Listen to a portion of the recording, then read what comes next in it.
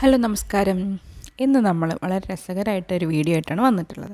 എന്താ വെച്ച് കഴിഞ്ഞാൽ നമ്മൾ ഗർഭിണിയായിരിക്കുന്ന സമയത്ത് പല ആളുകളും നമ്മുടെ വയറ്റിനകത്ത് വളരുന്ന കുഞ്ഞ് ആണാണോ പെണ്ണാണോ എന്ന് പറയാറുണ്ട്. പല പല ലക്ഷണങ്ങളൊക്കെ ലക്ഷണശാസ്ത്രങ്ങളൊക്കെ വെച്ചിട്ട് അല്ലേ?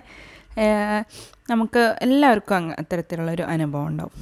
അപ്പോൾ അതിലെന്തെങ്കിലും ശാസ്ത്രീയ വശങ്ങളുണ്ടോ? അങ്ങനെയൊന്നുമില്ല. പക്ഷേ പണ്ട് മുതലേ ഇതൊക്കെ പറഞ്ഞു വരുന്നു. അത്രയേ ഉള്ളൂ. ഇവർക്ക് പല പല അവർ പറയുന്ന പല ശാസ്ത്രീയതകളൊക്കെ അതിനുണ്ടാവാറുണ്ട്. പക്ഷെ അതൊന്നും സത്യമല്ല എന്നുള്ളതാണ് കാര്യം. അപ്പോൾ നമുക്ക് നമുക്കത് ഏതൊക്കെയാണെന്ന് നോക്കിയാലോ? പ്രഗ്നൻസി പീരീഡിൽ നമുക്ക് ഒരു എന്താ പറയുക തമാശയൊക്കെ തോന്നുന്ന ചില കാര്യങ്ങളാണ് ഇവർ ഈ പറയാറ്. അപ്പോൾ ആദ്യം തന്നെ പ്രഗ്നന്റ് ആയ സമയത്ത് തന്നെ നമുക്ക് ചില ആളുകൾക്കൊക്കെ ഒരുപാട് ഛർദിയും കാര്യങ്ങളും മോർണിംഗ് സിക്നസ് അങ്ങനെ ഭയങ്കര ബുദ്ധിമുട്ടുകളൊക്കെ ഉണ്ടാവും. ചില ആളുകൾക്ക് കുഴപ്പമൊന്നുമില്ല. വളരെ കൂൾ കൂളായിട്ട് ഉം. അപ്പോൾ അതിൽ ഒരുപാട് ഛർദി ഉണ്ടെങ്കിൽ ആൺകുട്ടിയാണെന്നും കുഴപ്പമൊന്നുമില്ലെങ്കിൽ പെൺകുട്ടിയാണെന്നും പറയാറുണ്ട്. അപ്പോൾ അതിലെന്തെങ്കിലും കാര്യമുണ്ടോ? അതെന്ന് പറഞ്ഞു കഴിഞ്ഞാൽ ഓരോരുത്തരുടെ ശരീരത്തിലുള്ള ഹോർമോൺ ലെവൽ നമ്മൾ പ്രഗ്നൻസി ഹോർമോണിന്റെ ലെവലിനനുസരിച്ചിട്ടാണ് ഈ സിംറ്റംസ് ഒക്കെ വരുന്നത്. അപ്പോൾ അത് ചിലരിൽ അധികമാവാം ചിലരിൽ കുറവായിരിക്കാം അപ്പോൾ അതിനനുസരിച്ചിട്ടാണ് ഈ സിംറ്റംസ് ഒക്കെ ഉണ്ടാകുന്നത് അതിൽ ആണിനും പെണ്ണിനും പ്രത്യേകിച്ച് റോളൊന്നും ഇല്ല. പിന്നെ ഇനി ചിലർക്ക് മധുര പലഹാരങ്ങൾ കഴിക്കാൻ ആഗ്രഹം ഉണ്ടാവും ചില ആൾക്കാർക്ക് എരിവും പുളിയൊക്കെ ഉള്ളതാണ് ഇഷ്ടം. അതിലും ആൺകുട്ടിയാണോ പെൺകുട്ടിയാണോ എന്ന് പറയാറുണ്ട്. ആ എരിവൊക്കെ ഇഷ്ടമാണ് വെച്ചെങ്കിൽ ആൺകുട്ടിയാണെന്നും മധുരമൊക്കെ ഇഷ്ടമാണെങ്കിൽ പെൺകുട്ടിയാണെന്നും പറയാറുണ്ട്. അതിലും പ്രത്യേകിച്ച് അങ്ങനെ ഒരു ശാസ്ത്രീയതയൊന്നും ഇല്ല അമ്മ കൂടുതൽ സുന്ദരിയായിട്ട് വരികയാണെങ്കിൽ പെൺകുട്ടിയെന്നും ഇല്ല അമ്മ ഉള്ളതിനെക്കാട്ടിയും കുറച്ചും കൂടെ ഭംഗിയൊക്കെ നഷ്ടപ്പെടുകയാണെന്ന് ഇവരൊക്കെ പറയുകയാണെങ്കിൽ അത് ആൺകുട്ടിയെന്നും പറയാറുണ്ട്. പക്ഷെ അതിലും പ്രത്യേകിച്ച് ശാസ്ത്രീയതയൊന്നും ഇല്ല. പിന്നെ പറയുന്ന ഒന്നാണ് അമ്മയ്ക്ക് ഒരുപാട് മുടിയൊക്കെ വളരുകയാണ് അമ്മയ്ക്ക് കയ്യിലും കാലിലൊക്കെ നിറച്ച് രോമം വളരുകയാണ്. അപ്പോൾ അത് ആൺകുട്ടിയാണ്. അപ്പോൾ ആൺകുട്ടിയുടെ ഹോർമോണിന്റെ ഒരു പ്രസൻസ് ഉള്ളതുകൊണ്ടാണെന്നൊക്കെ പറയാറുണ്ട്.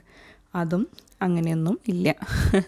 അത് നമ്മൾ കഴിക്കുന്ന ഭക്ഷണത്തിനും കാര്യങ്ങൾക്കൊക്കെ അനുസരിച്ചിട്ടുള്ള വ്യത്യാസമാണ്. അപ്പോൾ അത് ഒരുപാട് മുടിയൊന്നും വളർന്നില്ല.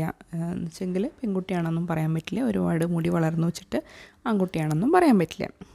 ഇനിയിപ്പോൾ കുറച്ച് മാസങ്ങളൊക്കെ കണ്ട് ഇങ്ങനെ കടന്നു പോകുന്നതിനനുസരിച്ച് നമുക്ക് വയറൊക്കെ വരുമ്പോൾ ചില ആളുകൾക്ക് വയറിങ്ങനെ മേലേക്കായിട്ട് ഇങ്ങനെ പരന്ന വയറായിരിക്കും ഉണ്ടാവുക. ചില ആൾക്കാർക്ക് താഴേക്ക് ഇങ്ങനെ ഉണ്ടാവുന്ന വള വയറുണ്ടാവാം. അപ്പോൾ ഒരുപാട് വലിയ വയറൊക്കെയാണ് മേലേക്കുള്ള വയറൊക്കെ ആണെങ്കിൽ എന്താ പറയുന്നത് പെൺകുട്ടിയാണെന്നും ചെറിയ വയറാണ് നമുക്കുള്ളത് വെച്ചെങ്കിൽ ആൺകുട്ടിയാണെന്നും പറയുന്നവരുമുണ്ട് അതും നമ്മുടെ ശരീരപ്രകൃതി അനുസരിച്ചിട്ടുള്ള ഓരോരുത്തരുടെ ശരീരപ്രകൃതിക്ക് അനുസരിച്ചിട്ടാണ് ഈ വയറ് വരുന്നത്. അല്ലാതെ എന്താ പറയുക ഈ വയറ് കൂടിക്കഴിഞ്ഞാൽ പെണ്ണാണെന്നും വയറ് കുറഞ്ഞാൽ ഞാനാണെന്നും ഒട്ടും അങ്ങനെ ഒരു കാര്യമില്ല. പിന്നെ പ്രഗ്നൻസിയിൽ ചില എന്താ പറയുക സ്ത്രീകളിൽ നമ്മളെ പൊക്കിളുണ്ടല്ലോ അതുകൊണ്ട് പുറത്തേക്ക് ഉണ്ട് തള്ളി നിൽക്കുന്നതായിട്ട് കാണാം. ചില ആളുകൾക്ക് അങ്ങനെ ഉണ്ടാവാറില്ല. അപ്പോൾ പൊക്കിൾ തള്ളി നിന്ന് കഴിഞ്ഞാൽ അത് ആൺകുട്ടിയാണെന്നും തള്ളി നിൽക്കുന്നില്ലെങ്കിൽ അത് പെൺകുട്ടിയാണെന്നും പറയുന്നവരുണ്ട്. അപ്പോൾ അതിലും അതും നമ്മുടെ പൂക്കളിന്റെ ശരീര എന്താ പറയുക ഓരോ പലതരത്തിലുള്ള പൂക്കളുണ്ടല്ലോ. അപ്പോൾ അത് നമ്മുടെ ശരീരഘടനയ്ക്ക് അനുസരിച്ചിട്ടാണ് അത് അല്ലാതെ ആണോ പെണ്ണോ എന്നുള്ള ഡിസൈഡ് ചെയ്യുന്ന കാര്യമല്ല. പിന്നെ ഇടത്തോട്ട് ചെരിഞ്ഞെടുക്കാനാണ് കൂടുതൽ താല്പര്യം വെച്ചെങ്കിൽ ആൺകുട്ടിയാണെന്നും വലത്തോട്ട് ചെരിഞ്ഞെടുക്കാനാണ് താല്പര്യം വെച്ചെങ്കിൽ പെൺകുട്ടിയാണെന്നും പറയാറുണ്ട്. അതിലും എന്താ പറയുക കിടക്കുന്നതിനനുസരിച്ചൊന്നും ജെൻഡറുമായിട്ട് യാതൊരുവിധ ബന്ധവുമില്ല. പ്രായം ഒറ്റക്കത്തിലുള്ളതാണെങ്കിൽ ആൺകുട്ടിയാണെന്നും ഇരട്ടക്കാണെങ്കിൽ അത് പെൺകുട്ടിയാണെന്നും പറയാറുണ്ട്. അങ്ങനെ പ്രായം വെച്ചിട്ടൊക്കെ നമുക്ക് ജെൻഡർ ഐഡന്റിഫൈ ചെയ്യാൻ പറ്റുമോ? നിങ്ങൾ തന്നെ ആലോചിച്ച് നോക്കൂ. അതിലും യാതൊരു ശാസ്ത്രീയതയില്ല. മറ്റൊരു കാര്യം പറയണത് ഗർഭിണി ഒഴിക്കുന്നത് കടും മഞ്ഞ നിറത്തിലുള്ള മൂത്രമാണെങ്കിൽ അത് ആൺകുട്ടിയാണെന്നും അല്ല സാധാ നിറത്തിലുള്ളതാണെങ്കിൽ ലൈറ്റ് യെല്ലോ ഒക്കെ ആണെങ്കിൽ അത് പെൺകുട്ടിയാണെന്നാണ് പറയുന്നത്. അപ്പം നിങ്ങൾക്കെങ്ങാനും കടുത്ത മഞ്ഞ നിറത്തിലുണ്ടെങ്കിൽ അത് ആൺകുട്ടിയാണെന്ന് കരുതിയിരിക്കാതെ നിങ്ങൾ യൂറിന ഡോക്ടറെടുത്തൊക്കെ പറഞ്ഞ് യൂറിനൊക്കെ ടെസ്റ്റ് ചെയ്തിട്ട് ഇൻഫെക്ഷൻ എന്തെങ്കിലും ഉണ്ടെങ്കിൽ അതിനുള്ള റെമഡികൾ നോക്കുക. മറ്റൊന്നാണ് നമ്മുടെ മറുകുട്ടിയുടെ അതായത് പ്ലസന്റയുടെ പൊസിഷനും അതുപോലെ തന്നെ ഹാർട്ട് ബീറ്റും വെച്ചിട്ടുള്ളത്. അപ്പോൾ അത് ഞാൻ ഓൾറെഡി ഒരു വീഡിയോ ചെയ്തിട്ടുണ്ട്. കാണാത്തവരുണ്ടെങ്കിൽ ഞാൻ ഡിസ്ക്രിപ്ഷൻ ബോക്സിലിടാം കണ്ടു നോക്കാം കേട്ടോ. എന്റെ ഗർഭകാലഘട്ടത്തിൽ ഇതുപോലെ പലതരത്തിലുള്ള കമന്റുകളും കേട്ടിട്ടുണ്ടായിരുന്നു. അപ്പോൾ ഞാനും എന്റെ ഒരു ഫ്രണ്ടും ഒരു മാസത്തെ വ്യത്യാസമാണ് ഉണ്ടായിരുന്നത്. പിന്നെ എന്റെ കസിനായിട്ട് രണ്ട് മാസത്തെ വ്യത്യാസം ഉണ്ടായിരുന്നത്. ഞങ്ങൾക്ക് മൂന്ന് പേർക്കും ആൺകുട്ടികളാണ്. പക്ഷെ നമുക്ക് തോന്നിയിട്ടുള്ള മൂന്ന് പേർക്കും തോന്നിയിട്ടുള്ള കാര്യങ്ങളും നമ്മുടെ ശരീരഘടനയൊക്കെ വ്യത്യാസമായിരുന്നു. ഒരാൾക്ക് ഒരുപാട് വലിയ വയറായിരുന്നു. മറ്റ് എനിക്കും എന്റെ കസിനും അങ്ങനെ അത്ര ഒരു വലിയ വയറായിരുന്നില്ല. ഒരാൾക്ക് രണ്ടുപേർക്ക് സ്വീറ്റ്സ് ഇഷ്ടപ്പെട്ടത്. എനിക്ക് പക്ഷേ ഇഷ്ടം എരിവായിരുന്നു. എനിക്ക് ഉപ്പും എരിവ് അതൊക്കെയായിരുന്നു ഇഷ്ടം.